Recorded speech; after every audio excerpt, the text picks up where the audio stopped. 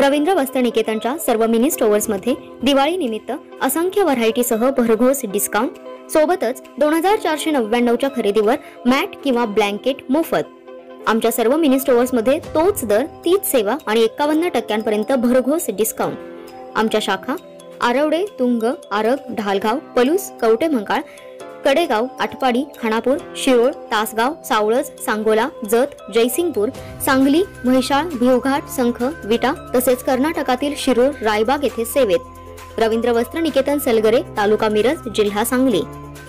आमदार गोपीचंद पडळकर तानाजी पाटील संघर्ष पुन्हा पेटला. आटपाडीचे राजकारण पुन्हा जुन्या वळणावर व्हायरल.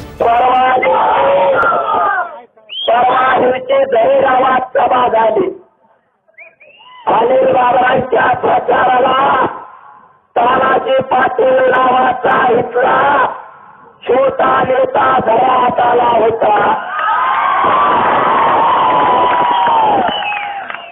आला आणि जाहीर शरीरला बोलायला लागला.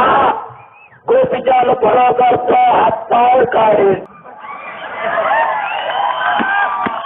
अरे ताला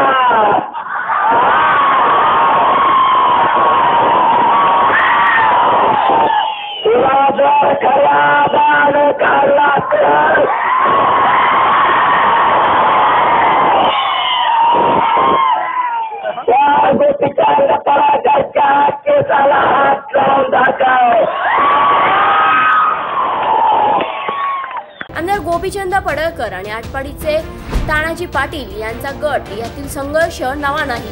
पण आमदार बाबर यांचे कट्टर समर्थक असलेल्या तानाजी पाटील आणि पडळकर गटात गेले काही वर्ष शांतता नांदत होती. ऐनवेळी पडळकर यांनी दोन हजार एकोणीसच्या निवडणुकीत आमदार अनिल बाबर यांना पाठिंबा दिला. त्यावेळी जे कार्यकर्ते एका गाडीतून फिरत होते तेच कार्यकर्ते एकमेकांवर दगडफेक करण्या इतपत हातपाय मोडण्या इतपत समोरासमोर उभे ठाकले आहेत. जिल्हा बँक निवडणुकीतील मतदार पळवापळवी त्यास कारण ठरली आहे.